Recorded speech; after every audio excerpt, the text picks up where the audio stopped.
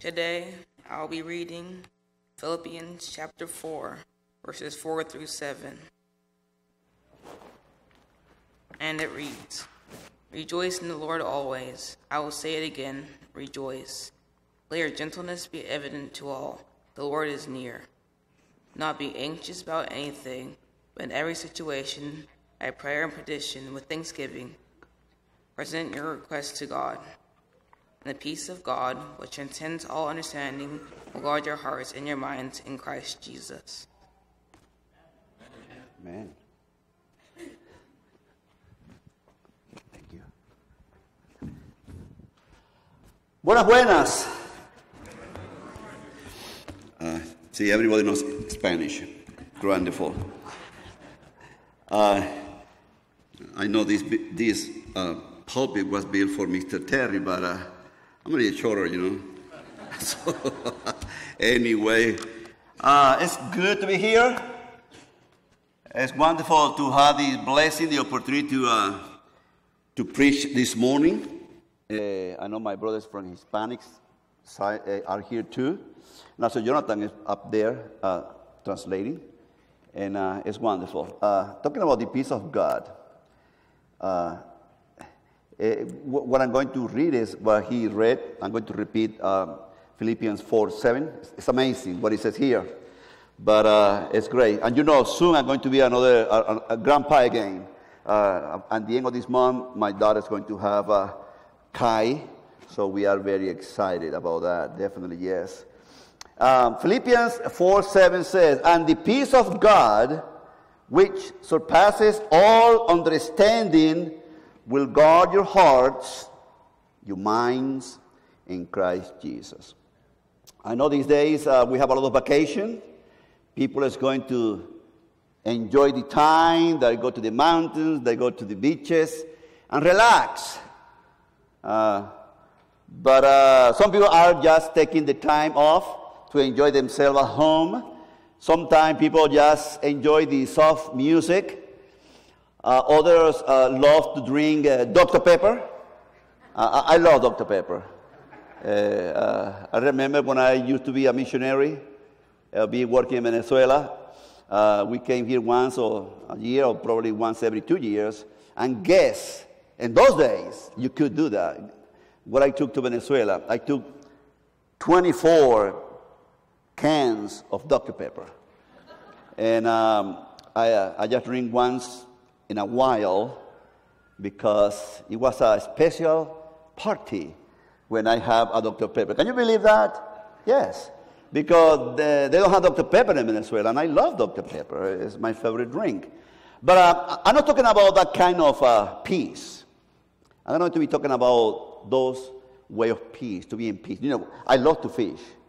And, and I used to go with my brother um, from uh, inner city in Atlanta, and he had a little boat, and we went to the lake at night. We spent all night fishing, so peaceful. But I'm talking about that peace. That's, I'm going to be talking about another one, very different than that, which, of course, we love to have that kind of peace. But, you know, in heaven, everything was peaceful. It was wonderful. God was there, the angels, everything enjoyed the time together.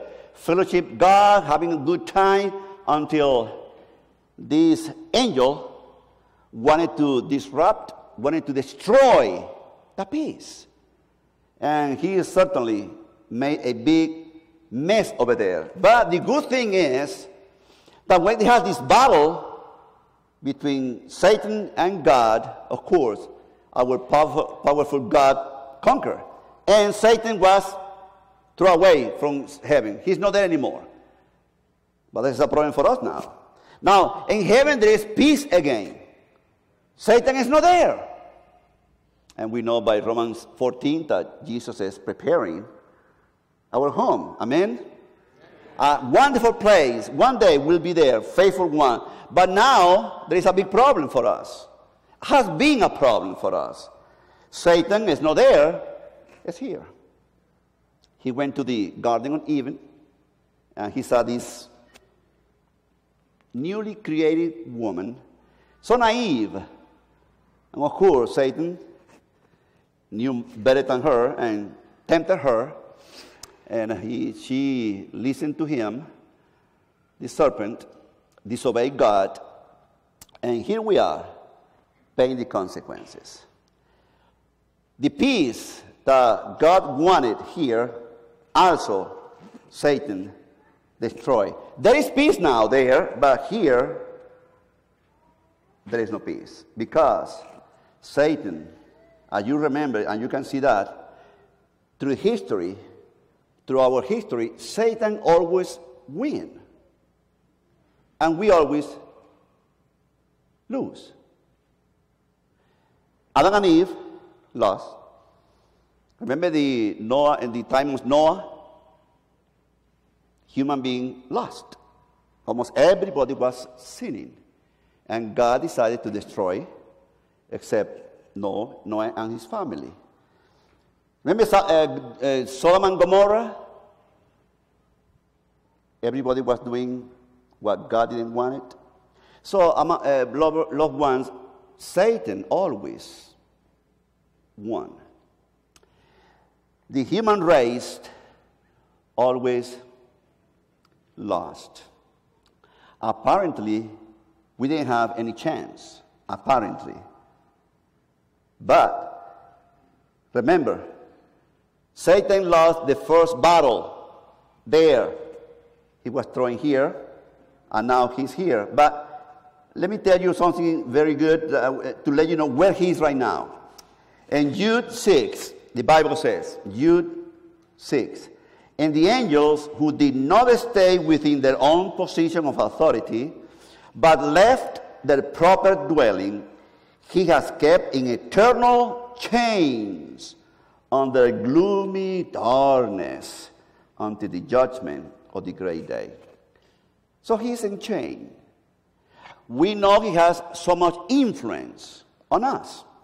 And you know, the Bible said that we have the, our body, our mind, has the seed of sin in us, and when we grow up, and we are, when we are babies, we are so sweet, loving, everybody wants to kiss the babies, play with the babies, but when we grow up, things change because we start doing these things that we shouldn't, ugly stuff. Because uh, even though Satan is in chains, sin came into the world, and every one of us going to sin, and then became enemy of whom? of God. So we are in a battle against God ourselves until somebody came. And you know who, who came? When Jesus came, everything changed. Now, I know people is always afraid of Satan, and I don't know why. When we talk about Satan, the devil, people start scary, afraid. I said, Why? What are you afraid of, Satan? That's my question. If you read the Bible, why? Let me just read one of the, the passages. John 16 11. Look what it says. Concerning judgment, because the ruler of this world has been already judged. You know, Satan is already judged. You know why? Because Christ, Jesus came here. He's in change. He doesn't have any chance now. Before Jesus came, everybody, us, human being, lost. And he always won. But when Jesus came, um, brothers, everything changed. And I don't know, as I said again, why people are still afraid of Satan. I know he is the Lord of this world, yes. Until Jesus came again. When Jesus came, everything changed. He's no more the king, the God of this world, because now Jesus is the one, not him. Why are you afraid of Satan? Jesus came to destroy whatever he was doing. We know that the Bible uh, talk to him about the prince of this world. So many wonderful names about Satan. But remember, that was before, because Jesus came and took away from him everything. So apparently, we didn't have any chance. That's why we didn't have peace with God. Because everybody sinned. And we know the paid for our sin was condemnation. And everybody was in that road. But when Jesus came, brothers and sisters, everything changed. Let me read Galatians 4 4. Galatians 4 4. Before this happened, everybody was in sin. No chance. You didn't have any chance, I didn't have any chance. But when this happened, everything started changing in our favor. Yes. Galatians 4 4, but when the fullness of time had come, God sent forth his son, born of a woman, born, born under the law. Jesus came. And he started taking away everything that the devil was taking from us. He was defeated. First, he was defeated by Jesus himself in heaven. Now remember Matthew 4, the temptations? Three times he tried to destroy Jesus. Three times he tempted him. But three times Jesus defeated him. So four times Jesus had defeated Satan. Now, who dwells inside of you? It's not the Holy Spirit. It's not God the Father. It's not Jesus. Who defeated Satan? Who dwells inside of you? It's not the same one who defeated him. Who is much more powerful? The one who is in the world, according to John, the one who is in the world, or the one who dwells in us? Who is more powerful? The one who dwells in us. The Holy Spirit. So I ask again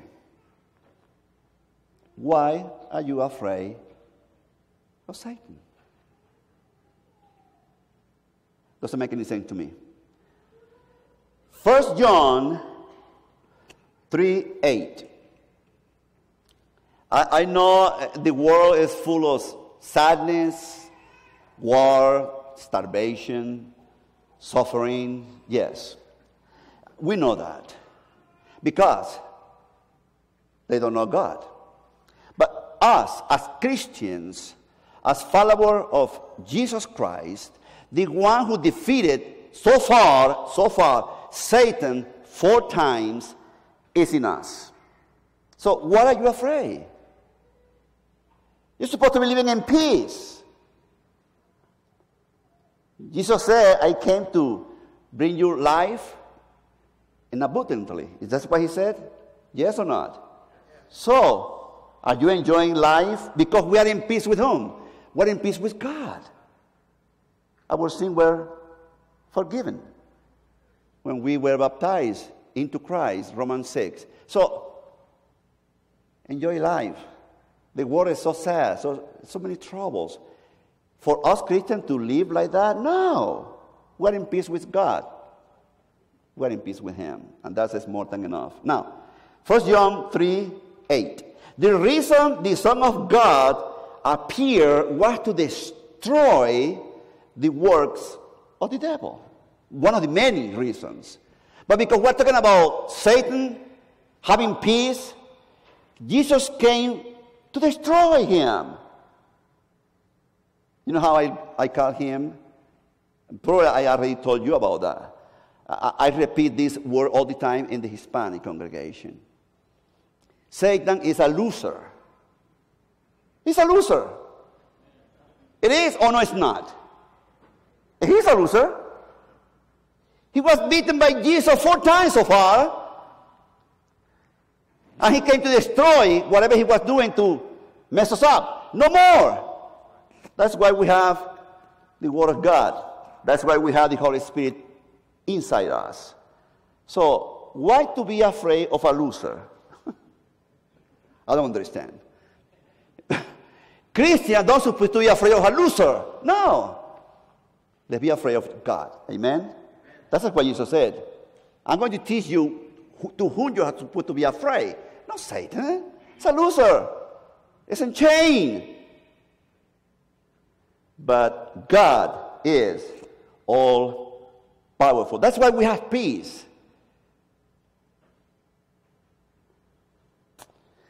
I know when we talk about death, and sometimes I talk to Santiago. Santiago, are you ready to die? Well, you know, I, I know where I'm going to go, but I don't want to die yet. I understand what he's saying because, you know, I'm going to have another grandbaby. I don't want to die yet, but I know where I'm going. May sound like what, what Edison thinks he is. I'm a child of God, and I trust his promises. Amen? So I know where I'm going. That's what Paul says. I know where I'm going. Why, why not you? Can you say the same if you are faithful to God? Yes, you can say the same. Because we're in peace with God now. And Satan is a loser.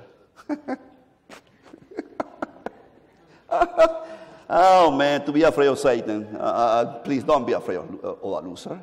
No. Absolutely. Now, there are two more defeat for Satan, brothers. That's why we have peace with God, and we need to look the peace with each other. Yes.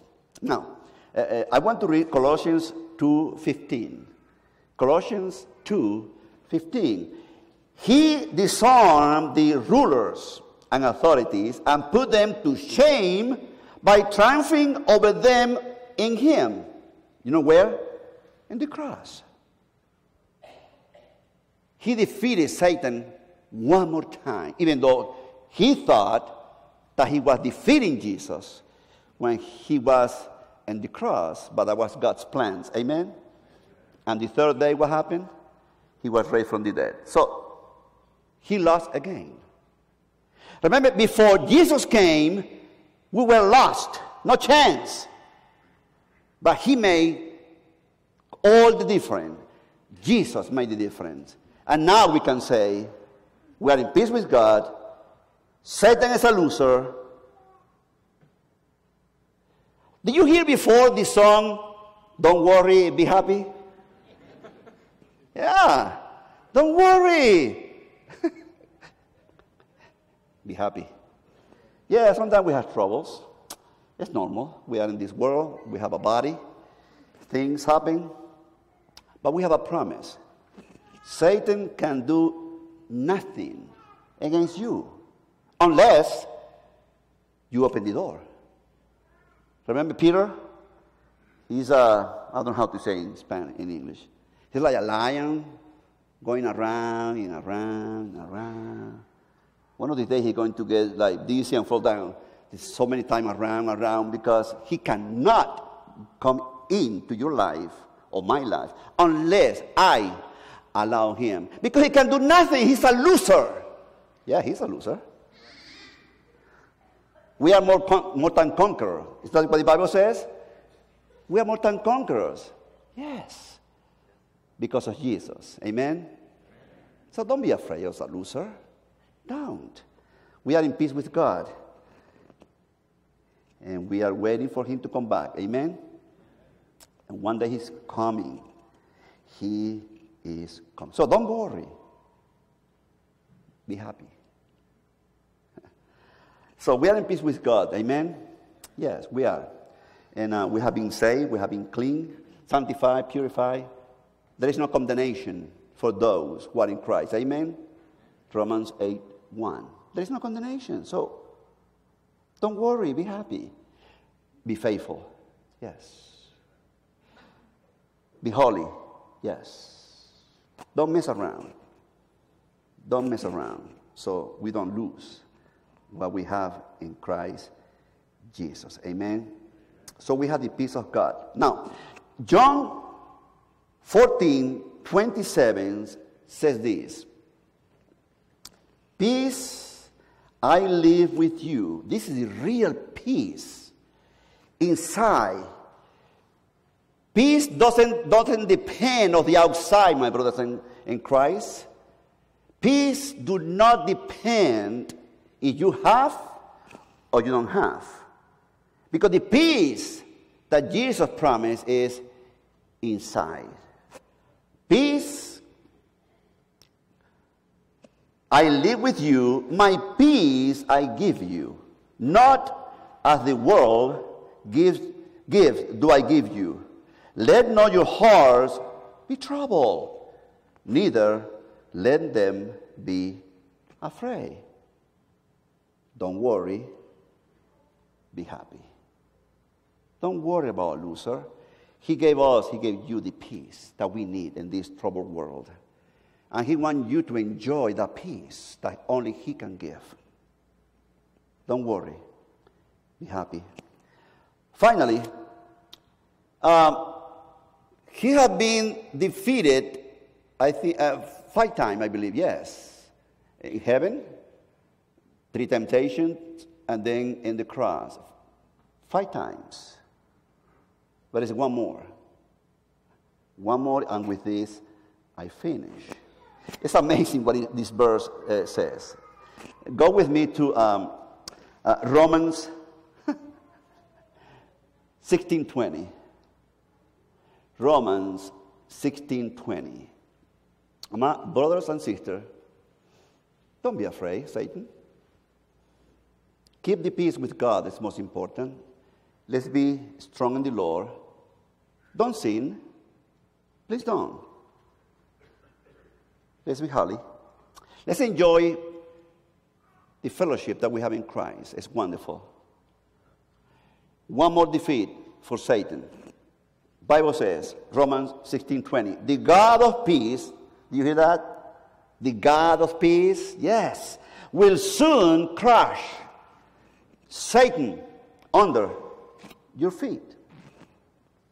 The grace of our Lord Jesus Christ be with you soon.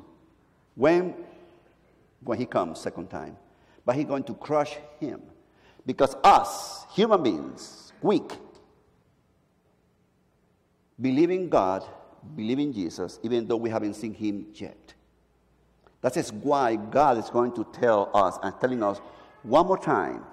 He's going to defeat Satan when he comes for the second time. So, um, brothers, I think this is more than enough for us to see how wonderful is God. Satan used to win, no more. He's a loser. We have the peace of God. We have the hope of salvation in heaven when He comes the second time. So don't worry. Even though there are situations, be happy. Enjoy life because God has given you the right as His children. So God loves you very much. And is, uh, I know there are, as I say, troubles, sometimes cool because we don't follow his commandments. But it's this morning, you just need the peace of God. Not because you have or may not, even you have troubles today. You are not the only one. But He came to give us peace, the real peace inside of us. You just need to recognize your situation, come to God humbly, ask for His forgiveness, and He will be very glad to forgive you when you obey in the baptism and be raised as a new creature to enjoy life. Those who already are Christians, thank having some troubles, situations. Yes, remember, God loves you very much. He's the God of peace. He wants you, even through troubles time, to experience His peace. And He loves you very much. So while you don't stand, while we sing this song of invitation, this is a song of invitation, while you don't stand at this moment, and if you are ready to come, I know the elders are here, I'm here. If you want to, anything that you need from us, at this moment to be in peace with God. If you are not, come forward while we sing this song.